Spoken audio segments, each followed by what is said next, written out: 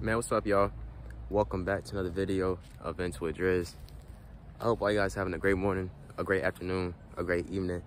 Whatever time you're watching this, I just hope you don't go overall, you feel me? Um, for my new people, if you are new, don't forget to like, comment, and subscribe. Hit the bell while you're at it too. I highly appreciate it from the bottom of my heart. You feel me? But I'm not gonna lie.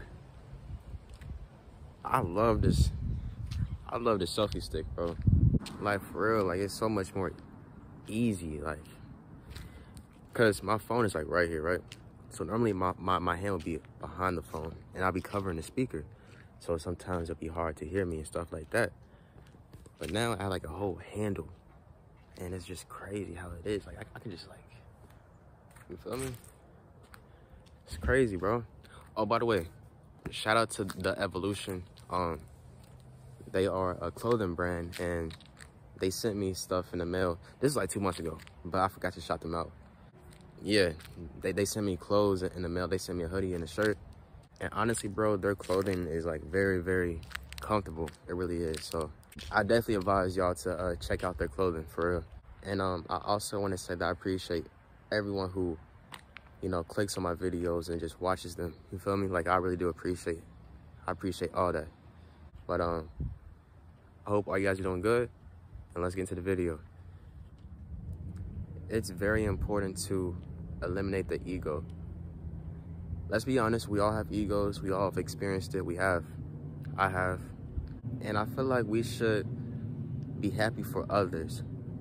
We should applaud others, our friends, this, that. You know? Say something good happens for your friend, right?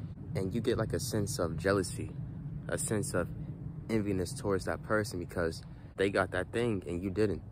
Now you want it, but you're being jealous. So tell me this, how can you get blessed too if you're showing jealousy towards your friend? You can't, bro. You have to apply. You have to be happy for others in order for good to happen to you. That's how life works, bro. Like I said, man, there's room for everyone. Everyone can do good. Everyone can strive for greatness. A lot of us feel like there's only one spot. There's not one spot. There's multiple spots. There's room for everybody. There's no point of being jealous you should applaud others and blessings will come to you as well. You know, man, I'm an honest friend. I'm the type of person that would tell you things that you need to hear over just lying to you and telling you things that you want to hear. You feel me? It's like, yo, say a friend of mine has a goal, they have a passion, right? And they're very consistent with it, right? And then they end up falling into a hole. They stop doing that thing and they start falling off track. I'm the type of person that will call you and be like, hey, you need to lock back in. Like like you was doing so good. Like what happened? Just that. I'ma constantly remind you the main goal, the reason why you do the stuff you do. I'm gonna be in your ear in a positive way. And I feel like we all need a friend like that. One of my biggest problems in relationships was I will always put that person on a pedestal. I will honestly see them perfect, if I'm being honest. That was my problem. I've always seen them on a pedestal, so perfect. And then when they did like one little mistake, it will hurt me to the core because I had them on such a pedestal. But it's like, yo, I, I should have seen them as a normal person. I should have already expected them to make a mistake because we're human. We all make mistakes. Now, when something happens, like in my next relationship, when something happens, it's not going to affect me as much because I've already expected it to happen because they're human. You feel me? And I feel like that's how we should move accordingly. Hey man, karma is so real.